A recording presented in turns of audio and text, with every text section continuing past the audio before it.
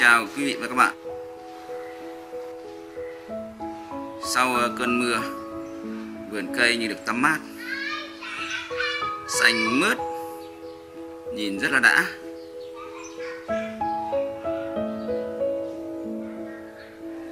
Trong video này tôi sẽ giới thiệu một số cây ờ, trước cửa nhà. Qua đó sẽ chia sẻ một số kỹ thuật. Tới các bạn mới chơi. Để làm được một cây cảnh đẹp. Thì ngoài những vấn đề về kỹ thuật uốn tỉa, Tạo tác cho cây, Thì các bạn mới chơi rất cần. Các bạn nên nhớ nhé là rất cần Phải nắm được đặc điểm sinh trưởng của từng cây. Nếu không nắm được đặc điểm sinh trưởng của từng cây, thì các bạn có thể làm hỏng cây, hoặc là có thể là bị kéo dài thời gian làm cây đây là cây ruế mà tôi đang bật lá, là một răm cho nó này. Trước tiên tôi nói về đặc điểm của cây ruế mà ít cây có những cái đặc điểm như thế này. Đây là con đang vặt rửa rang nhé. Còn chưa xong. Thì tại sao tôi để rửa rang này thì các bạn thấy là nếu có lá này, thì khó hình dung những cốt cách đường truyền của chi cành, đường truyền của răm khi vặt ra nó sẽ có tác dụng là nhìn rất rõ những cái đường truyền của chi cành và răm. Từ đó sẽ điều chỉnh nó đẹp hơn. Tuy nhiên về mùa hè nếu những cây hoàn thiện, cây mịn rồi, thì có một cách đó là cắt tỉa. Không cần vặt hết lá đâu nhé. Ví dụ như cây này. Đó. tôi phải cắt tỉa làm hai lần. Lần đầu tiên tôi cắt tỉa chỉnh thật đẹp, nhưng vẫn để trên cây những cái lá già đây là cây xanh lá bóng nhá. Xanh lá bóng rất là đẹp. Cây này cây siêu quả tôi vẫn còn giữ cái ảnh lúc nó ra quả rất là nhiều. Cái cây này thì à, tôi cắt. Cắt lọc răm nhưng vẫn để lại những cái lá già nhé.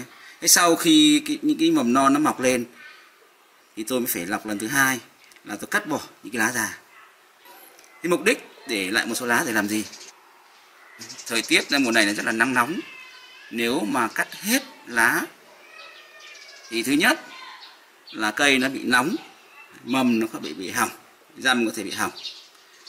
Vừa nóng, vừa cây không quang hợp được trong một thời gian, thì nó có thể bị hỏng hỏng răm.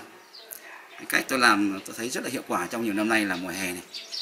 Bạn cắt lọc răm, đối với những cây à, mịn, thời tiết mà nắng nóng, thì bạn có thể là cắt răm làm hai lần. Lần đầu tiên cắt lọc, chỉnh cho nó đẹp. Lần thứ hai mới là cắt hết những cái lá già. Khi cái lá non nó ra, nó cứng cáp rồi, thì ta mới cắt lá già. Cái lá già mục đích là vừa để che cho cây, vừa để cho cây nó quang hợp, nó khỏe. Đây một đôi nhé, tôi làm cái cách đó. Đây là cách lọc ra mùa hè. Đôi xanh lá móng dáng thắt đổ. Lá rất là đẹp nhé Thế quay lại cây dưới này. Cây dưới này. Thế quay lại cây dưới này. Thế tại sao cây dưới này phải vặt hết lá? Đó. vặt hết lá chỉ mục đích đơn giản là để chỉnh cái đường răm cho nó kỹ thôi. Bởi vì cây này là chưa hoàn thiện. Bắt buộc phải ừ, vặt hết lá để chỉnh đường răm cho nó kỹ. Cây dưới nó có cái đặc điểm khi cái mầm nó ra, nó cứ vươn thẳng nếu nó bầm ở dưới nó cứ thẳng dưới. Mầm ở trên nó cứ thẳng lên trên. Mầm sang ngang nó cứ thẳng sang ngang. Còn phần lớn nó cây khác là mầm của nó vươn lên nhé. Cái xanh, cái si chẳng hạn. Thì tất cả các mầm nó cứ vươn lên. Nó cứ vươn lên. Vít xuống lại vươn lên. Cái dưới thì mầm nó không vươn lên như những cái khác, mà nó mặc thẳng theo cái vị trí lúc ra ban đầu. Vì vậy các bạn thấy này, hai cái bộ tay của nó, mọc nó quắp vào những quả bóng rất là xấu nhé, vì nó mọc thẳng nó không vươn lên sau khi vào thêm lá thì tôi phải chỉnh cho nó vươn lên một chút này. Đó, phải bẻ lên một chút như này. Đấy, thì nhìn nó mới phiêu nó đẹp. Không quắp vào như này như quả bóng nó rất là xấu nhé. Đường chuyển của chi răng này chỉnh rất là kỹ rồi này. Rồi chia đôi này. Chỉnh rất là kỹ. Rồi. tuy nhiên ờ, những cái mầm mới ra thì nó mọc nó quắp xuống dưới. Nó mọc theo chuột thẳng. Cái cái thì nó quắp xuống dưới cái thì nó vươn thẳng lên trên. Chứ nó không vươn đều lên trên những ờ, một số cây khác. Đó. Đây. Để bẻ này là rất là đẹp này sau khi vào lên lái tôi sẽ bẻ lên như này. Cho đẹp chứ không nó quắp xuống dưới nó như quả bóng rất là xấu. Thế để làm được cây thì các bạn cần nắm được điểm sinh trưởng của từng cây. Từ đó ta mới có cách làm cách chăm sóc thật thích hợp nhất. Sang đến cây à, hồng ngọc mai. Hồng ngọc mai có một cái ưu điểm mà có lẽ là ít người để ý. Đó, các bạn nhìn nhé tại sao cây hồng ngọc mai tôi lại để sát tường? Vì các bạn thấy này cành nó mọc ra nhé thậm chí nó chạm vào tường rồi nó vươn lên nó chạm hẳn vào tường rồi nó vươn lên. Và cái phía giáp tường này nó cũng phát triển rất là bình thường thậm chí nó còn à, nhìn thế này các bạn thấy nó còn tốt hơn ở phía ngoài. Cái phần lớn các cây khác là gặp tường nó sẽ bị kém hoặc nó không vươn ra nữa nó vươn lên. Nó không vươn ra chiều thẳng nữa mà vươn lên. Và cái chiều sát tường thì mầm nó rất là yếu và kém. Tuy nhiên cây hồng ngọc mai thì vấn đề sát tường không ảnh hưởng gì đến cái sinh trưởng của cây. Đấy, cho nên nếu các bạn chơi mà không gian diện tích nó có hạn thì những cây hồng ngọc mai bạn có thể để sát tường một chút. Không sao nhé. Đấy, quay thêm cho quý các bạn xem những cái hồng ngọc mai này. Những cái hồng ngọc mai ta để, để sát tường nhé. Đấy, do nhà nhiều cây quá và sắp xếp thật hợp lý. Cây này tôi để đây mấy năm rồi nhé. Đó. Cây này chỉ làm chơi vui thôi thì cái giá trị kinh tế của nó không đáng là gì cả. Thỉnh thoảng có một chút hoa cho nó vui thôi. Cái này tôi làm đơn giản không uốn cầu kỳ quá bởi vì nhà lắm cây cái qua để quý vị các bạn thấy là à, tán nó chỉ đều xung quanh nhé. Mặc dù để rất là sát tường nhưng mà bộ tán đều tròn đều nhé. Như những cây mọc ở giữa cánh đồng ấy. nó không bị ảnh hưởng bởi hai cái tường hai bên nhé. Đó. là ưu điểm của cây hồng ngọc mai. Đây là cây linh sam. Cây này thì tôi đã tạo tác nó rất là lâu rồi. Tôi cũng quay mấy lần trước khi nó còn phôi chứ chưa có gì cơ. Làm cái linh sam rất là lâu. Cái linh sam ba thân chân đế nhé cây ly sam có cái đặc điểm là cứ cắt là nó ra hoa. Sau mỗi lần cắt là ra hoa rất là nhiều. Bộ tán tôi làm tự nhiên. Những cái này tôi bán giá rẻ lắm nhé. Mặc dù cây rất là đẹp, nhưng thì chắc chắn là cái giá rất là rẻ. Thì các bạn yêu mến thì liên hệ trực tiếp để giao lưu nhé. Chia sẻ tiếp tới, quý vị và các bạn một cây si. Một cây si năm thân nhé năm thân zin không đóng ghép nhé. Tôi cắm cành từ khi cái cành nó còn nhỏ này, này. mà đến bây giờ nó to như này. Năm thân. Cái thân chính ở giữa thì nó cũng tạm ổn. Tuy nhiên cái thân này hơi nhỏ. Để cho thân nhỏ này. Để kịp các thân còn lại. Nó cân đối nó không lệch nhau nhiều quá. Lệch một chút cũng được chả sao cả. Nhưng lệch nhau nhiều thì không đẹp. Thì muốn cho cái thân nhỏ này đuổi kịp những thân này. Thì các bạn mới chơi lưu ý một số vấn đề vấn đề thứ nhất là ánh sáng. Nó phải có đủ ánh sáng. Để xử lý vấn đề ánh sáng thì tôi đã cắt bỏ một số cành ở đây, của cành này. Để lấy ánh sáng cho cái thân này. Và vấn đề nữa về chất dinh dưỡng. Các bạn có thể nuôi những cái rễ tắt này. Rễ đang ra nhé, cứ để nhé đường tắt ở đây. Thì nó lấy theo cái đường tắt này là lên rất là nhanh. Cái rễ mới và đường tắt nó lên rất là nhanh. Tuy nhiên những cái rễ để ở trong này được nhé để đây được ở ngoài này vặt bỏ này. Nếu để những rễ ngoài này, thì cái phần từ rễ ra ngoài này sẽ to, và phần trong nó sẽ giữ nguyên không to nhé. Như vậy là sẽ xảy ra hiện tượng là ở ngoài sẽ to hơn ở trong. Rất là vô lý và không đẹp. Vấn đề ánh sáng này, vấn đề chất dinh dưỡng này.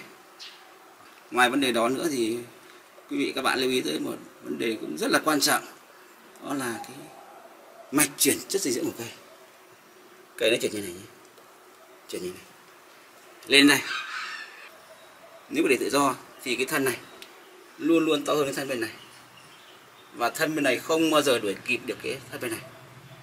Bởi vậy phải khống chế cái thân bên này. Bằng cách là cắt đi cái mạch của nó đây. Đấy, cắt đây nhá. Cắt đây. Thì cái thân bên này hiện nay tôi tính nó tạm ổn rồi. Nó đi dừng lại hoặc nó có phát triển phát triển rất là chậm. Thì cái thân bên này mới đuổi kịp được. Đó. cái thân này này là tính là tạm ổn rồi nhé. Chuẩn bị cái giật được rồi. Nên uh, ờ, tôi cho nó dừng lại.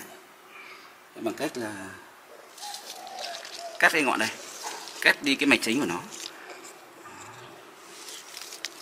Thế nói thế có thể các bạn mới chơi cũng chưa hiểu nhiều. Tôi có thể lấy thêm một số ví dụ khác như sau này. Cây phôi này tôi cũng làm như vậy này cây này thì to rồi. Đủ tầm cắt rồi. Tuy nhiên nếu cắt giật ở đây ngay.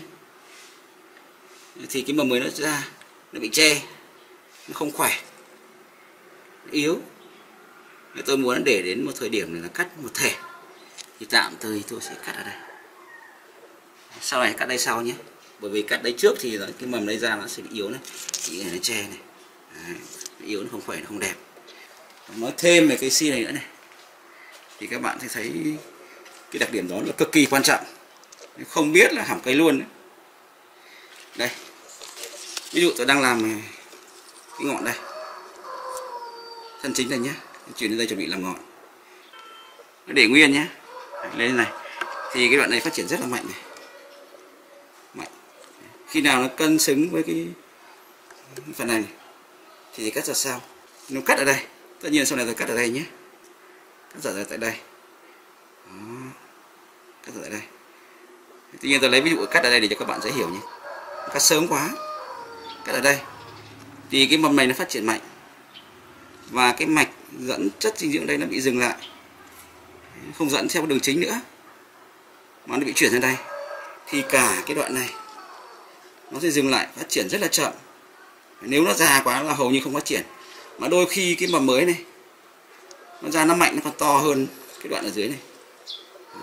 Làm như thế là đôi khi là hỏng cây. Đôi khi cái đoạn ờ, thân chính nó nhỏ quá mà bị hỏng cây. Các bạn phải nuôi tới tầm nào, các bạn mới chơi lưu ý là phải nuôi đến tầm nào, thích hợp. Gần cân đối, tỷ lệ của nó gần cân đối với thân thì mình cắt.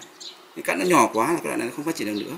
Mà cái đoạn trên nó to ra, thậm chí là trên nó còn to hơn ở dưới là hỏng cây đấy nhé vấn đề đó là vấn đề về cái mạch chuyển chất dinh dưỡng, mạch chính chuyển chất dinh dưỡng. Các bạn lưu ý nhé cắt ra đi là cái đoạn này nó không phát triển được đâu, mà phát triển rất là chậm Đấy. dựa trên cơ sở đó để ta, thứ nhất là ta nuôi để cho những cái ừ, cốt cành hoặc là những cái đoạn thân, đoạn cành nó có tỷ lệ cân đối hoặc là áp dụng vào việc khống chế để tập trung chất dinh dưỡng cho những cái thân chính, chẳng hạn như cây này, hoặc những cây phôi năm thân tôi vừa nói. Cây chuối này đã vặt lá xong. Thì bây giờ tôi sẽ chia sẻ tới các bạn mới chơi cách ờ, định hình, uốn cho cây chuối này. Chỗ này tôi tôi dự kiến làm thêm một cây tử ấy nữa.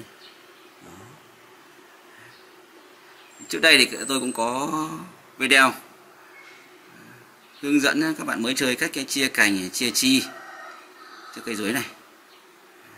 Hiện nay nó cũng gần hoàn thiện đang đi và làm răm cho nó dày thêm. Cây dối cái đặc điểm của nó thì tôi có nói trước video rồi. Đấy, chỗ này tôi sẽ phải cong lên một chút này. Thế ngoài những vấn đề về tính thẩm mỹ theo hiểu biết của từng người cũng có một vài nguyên tắc cơ bản thì à, các bạn mới chơi có thể áp dụng chỗ này chặt ba này cắt bỏ luôn này. Chỗ này cũng chặt ba này. Chặt ba. Nếu để cái này thì hai cái nó thẳng nhau không đẹp. Thì lại cái này phải uốn lên trên một chút này. Để cái này lên trên một chút này. Đấy, cắt luôn cái này thì đỡ phải uốn này. Đỡ phải đẩy.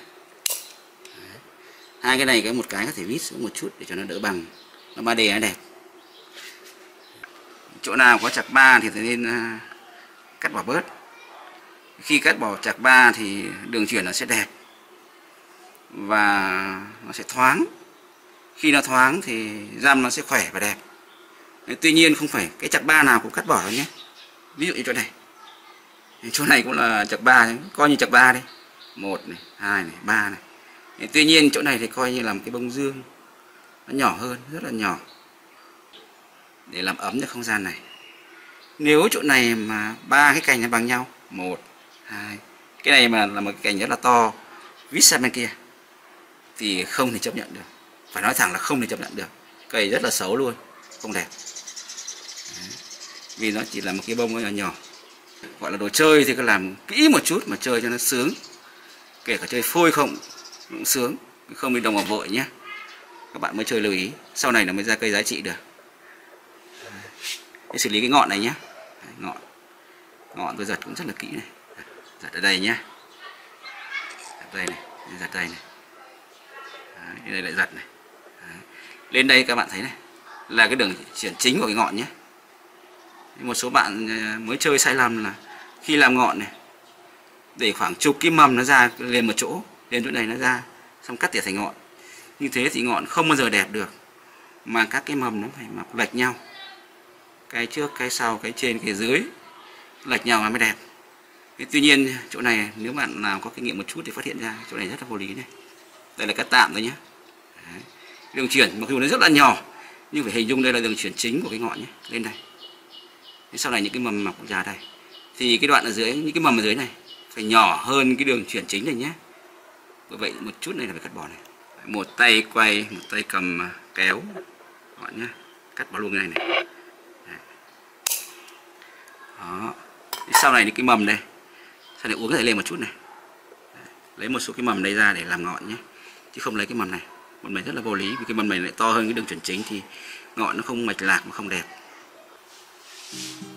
Một số chỗ thì tôi cũng đã dùng dây để uốn xong. Để uốn lên này. Cái này cho lên một chút này.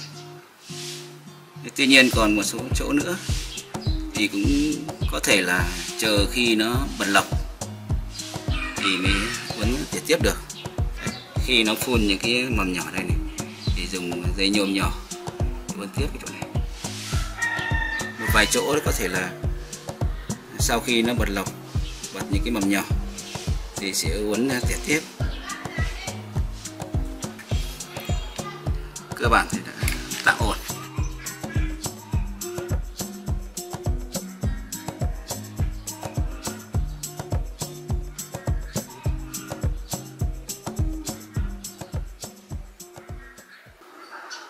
quý vị và các bạn vừa tham quan khu vườn ở trước cửa.